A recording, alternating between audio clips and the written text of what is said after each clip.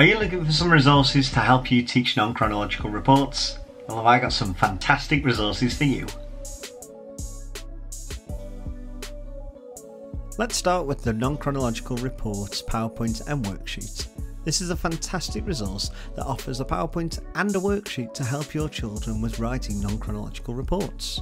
The PowerPoint goes through what a non-chronological report is, and then the worksheets consist of two tasks to help them to better understand how to write these kind of reports. Help your children's understanding with these non-chronological report resource example packs.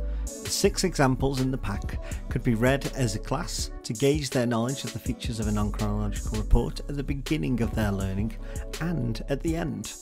This pack is also great to show students how to write these types of text with great examples that they can use in their own work.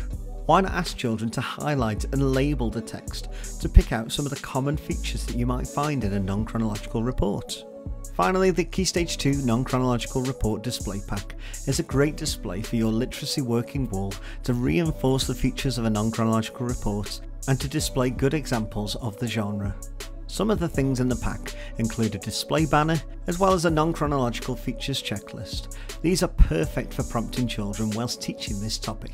This is a fantastic resource for encouraging Key Stage 2 children to think critically about different writing genres and remind them of the features of this style. So I hope you've enjoyed this video and you can use some of these resources in your next English lesson. Thanks for watching and I'll see you again.